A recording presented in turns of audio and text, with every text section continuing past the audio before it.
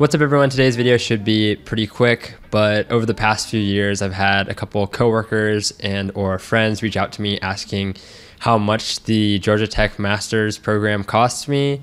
So basically today's video will just be me pulling up the receipts as well as some caveats. I'm gonna go ahead and share my screen and show the spreadsheet that I used to track and plan it when I was a student. So basically the degree itself is 30 credit hours, which is 10 courses. You can do more if you want to, but I think most people just want to get the degree and get out, which is what I did. So I have all of the semesters listed on the left. For each semester, I listed the classes I took, uh, the credit hour sum. So as you can see, this eventually is adding up to 30. And then this here is adding up to 15 just because you need to do 15 credit hours towards your chosen specialization, which for me was machine learning. I also listed the average workload, like the number of hours I spent. Uh, and this is based off the website OMS Central, which is basically like a public poll of how the students that took the class, how they went about it. So that basically means on average, uh, people spent 6.6 hours a week on AI ethics and society. And then on average, people spend 12.92 hours per week on AI for robotics. And then this is kind of a weird format, I know, but this last cell in each section is the sum of these two. In the first few semesters, so this was fall 2020 through fall 2021, they had something called a special institution fee. And basically, that just added some extra costs to it. So, for example, if I look at the screenshots of what I actually paid in the fall and spring and fall again, I had to pay an extra 194 for this special institution fee. I don't really know what that is, but for whatever reason, they dropped it after the spring 2022, it looks like. Fall 2020, I took two classes, paid 1381. Spring, took another two, 1381.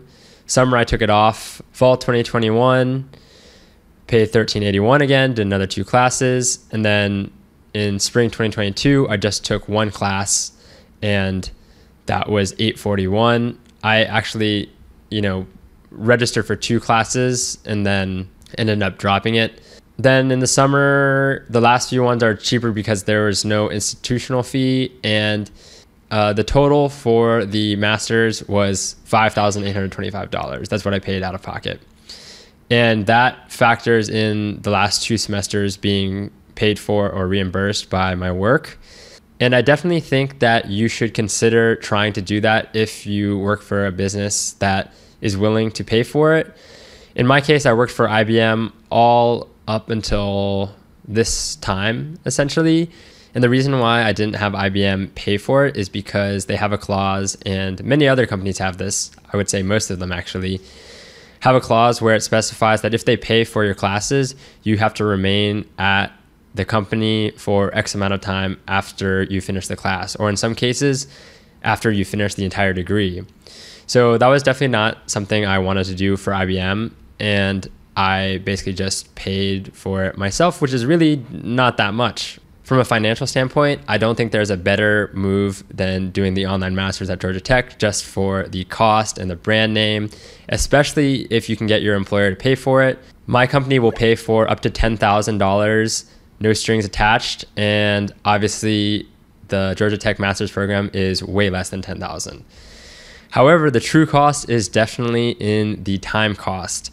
So just for fun, I tried to calculate it. As you can see, fall and spring semesters are 16 weeks and summer semesters are 11 weeks.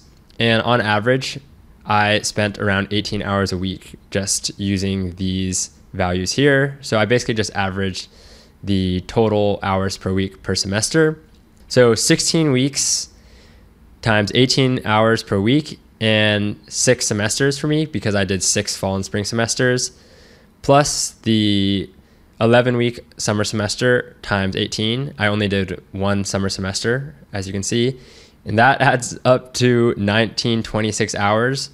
And if you divide that by 40, assuming you work 40 hour weeks, then that comes out to 48 full time work weeks, which is essentially a full year of full time work, assuming you get like two weeks of paid vacation.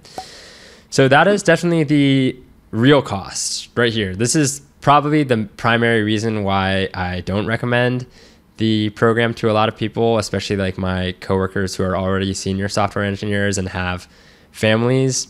Really, this degree will take a full year of work, basically. And that makes sense. 30 credit hours is pretty much what most one year accelerated professional master degree programs are. Obviously, you can go slower than I did.